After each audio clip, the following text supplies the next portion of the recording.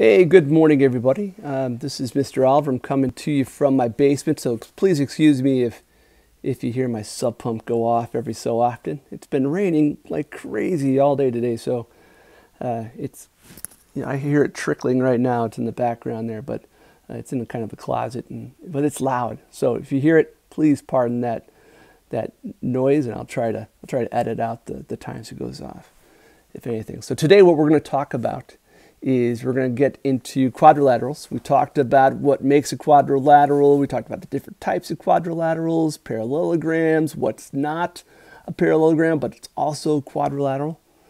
Went into a lot of detail in those things. And today what we're going to do is we're going to get into the angle measurements. All right, so put away your protractor. You don't need that today. We're just going to talk about angle properties. And you're going to notice that a lot of these parallelograms and quadrilaterals in general kind of share similar properties.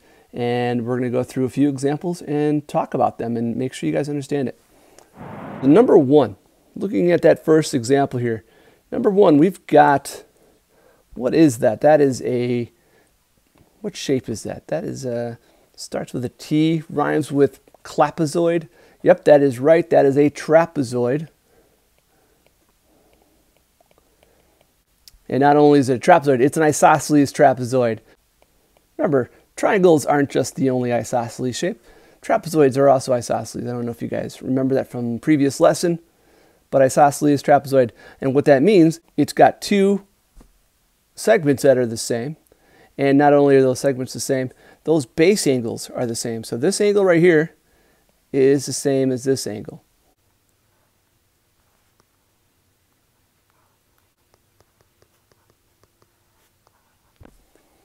And like I said, put away your protractor. Protractors are not going to help on this. What you do need to know is just some general ideas here as, as to what are the same and what's not the same in these shapes. So right here, if this is if this is 71 degrees, well, so is this. That's 71 degrees. All right, so we just figured out number one. X equals 71 degrees.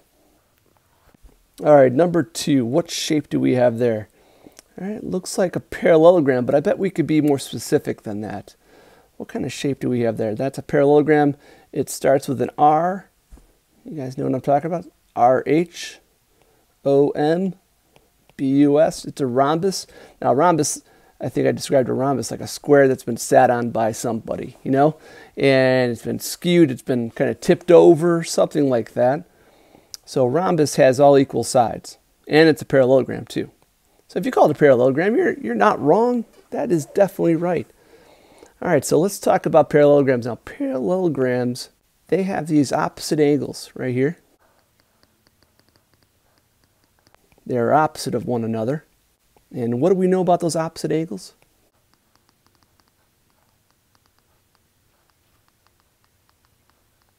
We know that opposite angles are congruent. So this angle right here if we know that this angle is 52 degrees, well, you bet this angle is 52 degrees.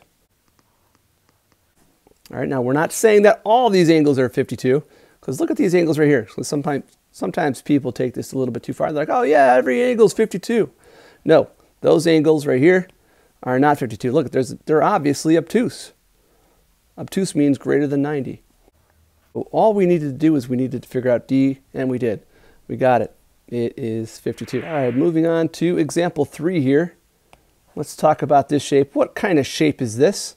I think the K is an indicator or a hint as to what shape it is. It is a kite. And is a kite a parallelogram? No, it's not a parallelogram. But what we do know about uh, a kite is that it has these diagonals. Most importantly, this diagonal right here these are equal sides.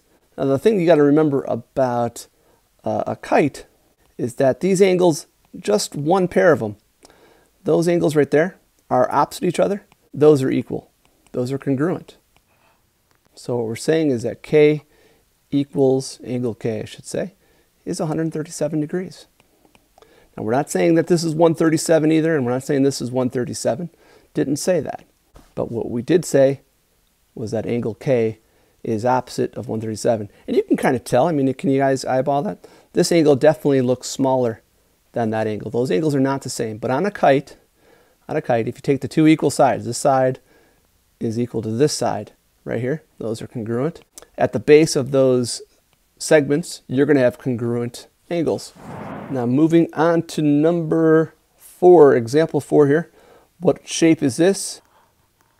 That is correct. That's a trapezoid. It's not an isosceles trapezoid. It's not a right trapezoid. It's just a trapezoid. And here's where we have to do a little bit of thinking. I, I think those first examples were super easy. You can kind of just look at them and know what it was, but these are going to take a little bit more thought. Now what we have here, what we have here is we have an angle. Let's look at the angle that's given. That's 61. And we're looking for angle A. So these angles right here, those angles are adjacent. And adjacent angles mean they're next to each other, but on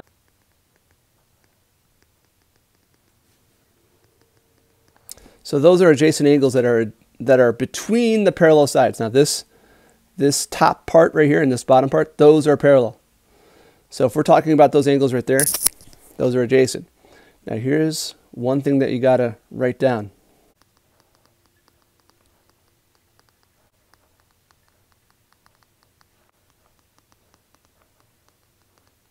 So adjacent angles on trapezoids are supplementary. Okay, so we have angle A and we have 64. And what does supplementary mean? Supplementary means they add up to 180 degrees. So we have A, we have 61 degrees, and we have 180. So I just set up a really simple one-step equation there to solve that. And all there is that you have to do to solve that is just take away 61 from both sides. A is going to be 119 degrees. So those are 119 degrees. Now I, I, didn't ask you to do anything with this, but let's say I, let's say this is angle C, and we'll call this angle D. Well, here's what we do know about them. We know that C plus D are supplementary. They are 180 degrees. So if we did have an, a measurement for C, it's not 119, it's not 61 either. But if we, we would be guessing, or we would have to get our protractor out and measure it, but that's not what I'm requiring you guys to do. But C plus D, these angles right here, because they're between the, the parallel sides, they are supplementary to each other. Okay, for example, 5, we have a parallelogram. And we're kind of doing a similar thing that we did on the last problem, which is we're looking at adjacent angles again.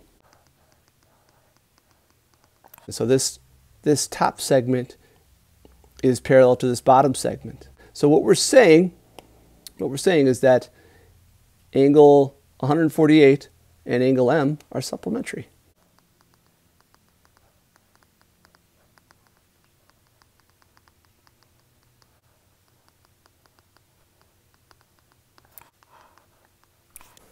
So adjacent angles of parallelograms are supplementary, meaning that they add up to 180 degrees. So just like on the last one, we can just set up a really simple equation here. m plus 148 equals 180. Take away 148 from both sides. Those cancel. And there it is.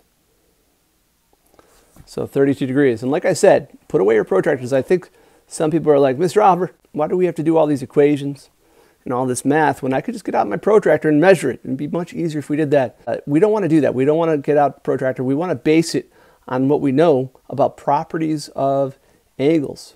Okay, like how angles, how those angles are related to one another. Okay, moving on to our last example here. Uh, and we have a, another example of a parallelogram and we're looking for angle C. All right, and this is the only angle here that was given. Now notice, uh, I haven't really mentioned this at all, but notice we, we were given lengths. Every one of these shapes that I, I had on this handout had lengths of sides on them.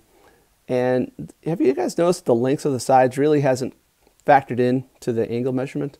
So um, it's important that you guys don't confuse those segment lengths with uh, angle measurements. Hopefully you're not confusing that, but they are not. Right, so what do we have there? We have what relationship is 64 degrees? What relationship is 64 degrees to C? Well, those are again adjacent. And it's okay for adjacent to be side to side, in this case because these sides right here are parallel, right? As long as the, they're adjacent between parallel sides, then we can call them adjacent and they can have those same properties.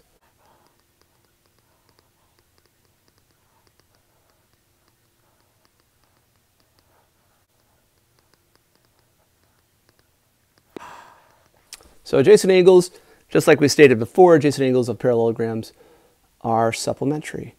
So I'm going to set up a really simple equation again. We got C plus 64 degrees is equal to 180 degrees because that's what supplementary angles add up to.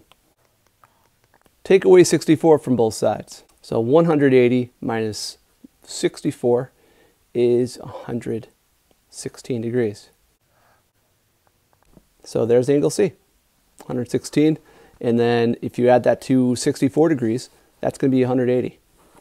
And just for the heck of it, why not? Let's figure out all the other angles here. So this is, we know that this is 116. That's 116. Now what's this angle right here? Well, that angle is opposite from 116. And if that's a parallelogram, those are equal as well. So that's 116 as well. And what is this angle right here? Well, that's opposite from 64. So that's 64 degrees right there. And if you don't believe or if you don't trust that answer right there, add them all up you know, 116 plus 116, or you can just do 116 times 2, plus 64 plus 64, or just 2 times 64. But if you add all that up, you know what you get? You get 360, which we talked about in a previous lesson, is the sum of the interior angles of all quadrilaterals, whether it's a uh, parallelogram, if it's a rhombus, if it's a kite, if it's a trapezoid, if it's a square, a rectangle, any type of four-sided polygon is going to have 360 degrees always. Not just sometimes, but every single time. Right, so that does it for this lesson. Uh, hopefully you guys went through all these examples. Make sure when you guys do these, you go through all the examples. You don't just go through one and go, I get it. I don't need to listen to you anymore. Make sure you go through all of them. And you're taking notes, whether it's printed out or if you're just writing them out in your spiral. Either way you do it, you got to write them down can't just sit there and watch it. You got to kind of write it out. I think a lot of us learn by doing, of course. All right, guys, so that does it for today's lesson. Everyone have a great rest of your day, and I will see you later.